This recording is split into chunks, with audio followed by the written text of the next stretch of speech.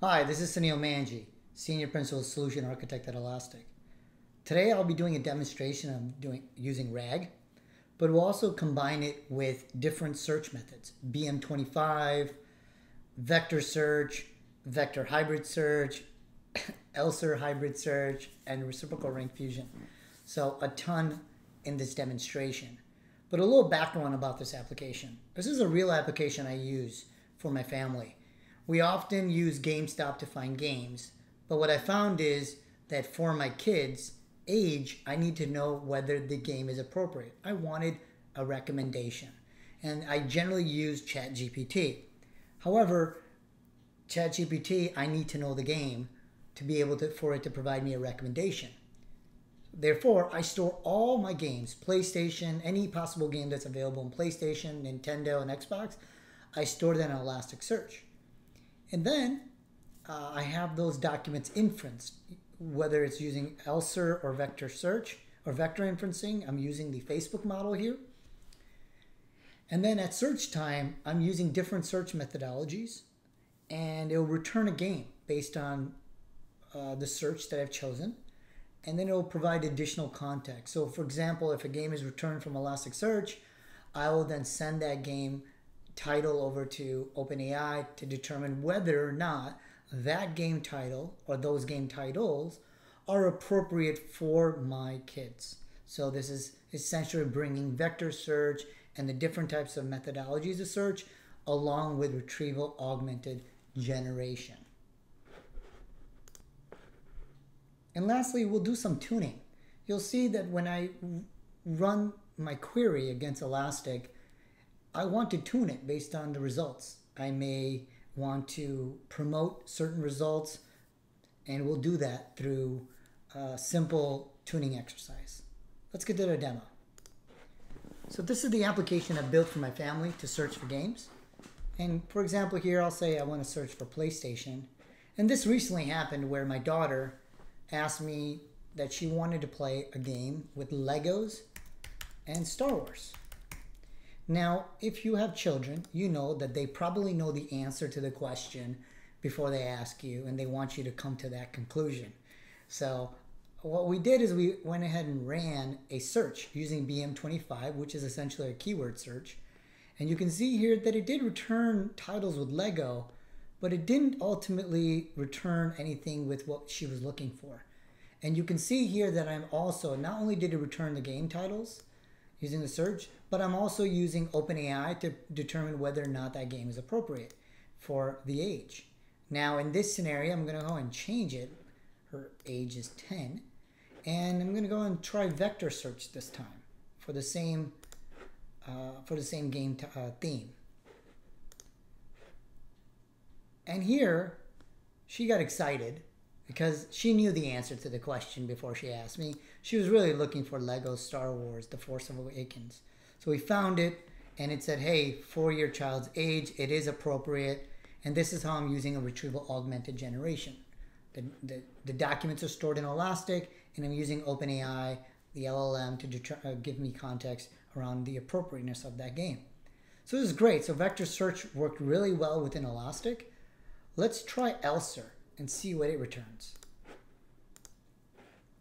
And same results. In fact, it gives me a few more results regarding Star Wars. What I really like about ELSER is the fact that I don't need to bring a model. It's already there for you within Elastic.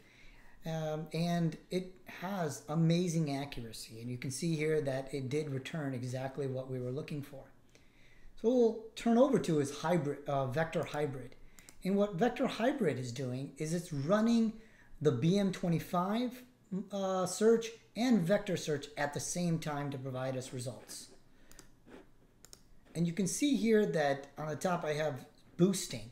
So I can boost the, the score of documents that are coming back from my BM25 uh, keyword search or anything that's returning from my uh, vector search or KNN search.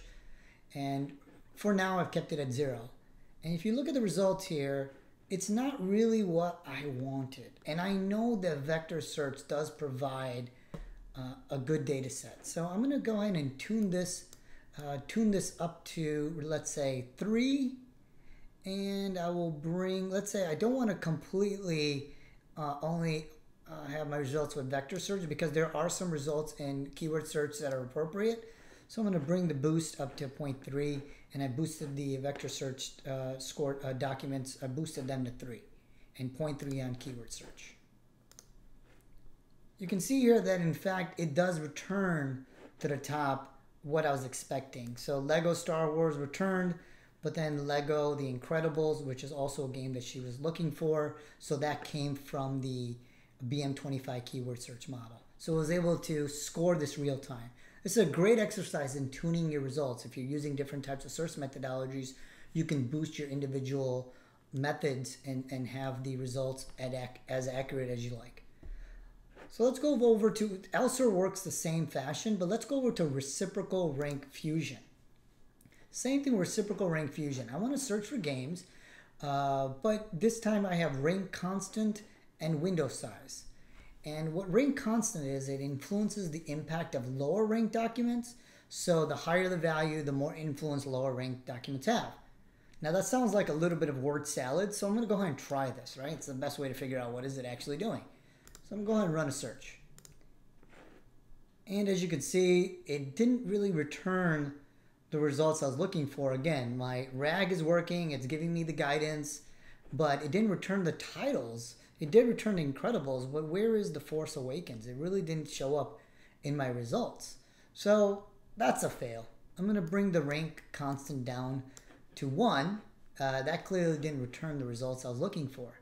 Now remember, reciprocal rank fusion, if I didn't explain it, I should have, is it doesn't look at the document score. It looks at the placement of where the documents were at the time the search results were came back. Basically a rank order, right?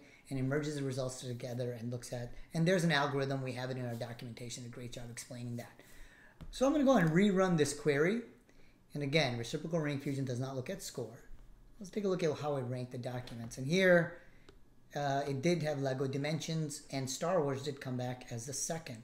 So great. So I was able to tune the query and return the second result, but I really want it to be the first result. So maybe I need to increase my window size, right? If I hover over Windows looks at how many results are per query and how higher value improves relevance but may re reduce performance. That's fine. Let's go and take a look at that. Let's bring the window size to 100 or 93. It's fine. Go ahead and run the search result, or I mean the search query, excuse me. And you can see here that it did in fact return uh, Lego Star Wars as the first result. So what did we do here? Uh, there was a lot. And one is we showed how you can use Elasticsearch with retrieval augmented generation. But what and, and that's cool because we showed you the pattern and the architecture. But we've also gone a step further in showing you that you can use it with different search methodologies. BM25, which is keyword search, vector, and ELSER.